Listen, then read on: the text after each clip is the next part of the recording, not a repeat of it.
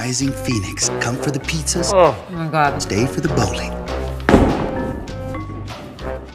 I watched the movie last night and it really felt at home for me. It, I, I, I really connected to it because here's a story of a man who's rising up from a past that he's trying to move beyond. And um, it was just really inspiring. And I think a lot of people with everything going on right now can definitely relate. So, Gary, I want to start with you. Can you tell me about the inspiration you had? Maybe like some uh, personal experiences that motivated you to make this movie.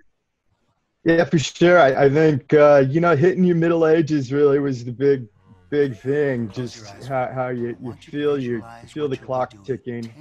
You know, it's about personal happiness, personal fulfillment. Like we're all we're all pursuing happiness and fulfillment in our work and in our relationships.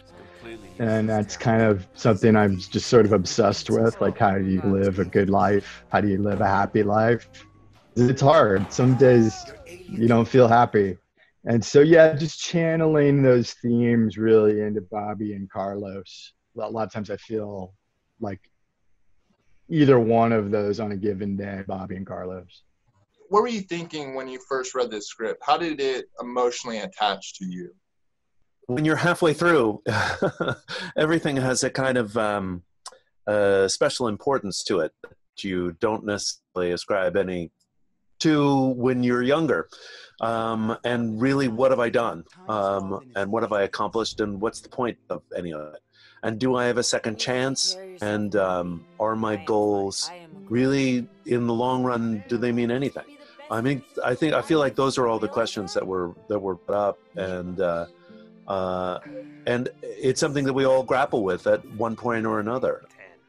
Well, it's it's like Diedrich says, you know, as actors and as artists, we try to find material that we want to really put our heart behind, you know, our passion. That's that's what comes across in this film is everybody's passion. But I think dancing with these guys, we realized that we had um, a great core of brilliant artists in terms of what they do. Well, I'm not like Bobby, uh, but uh, I, uh, you know, I identify with his fear of success.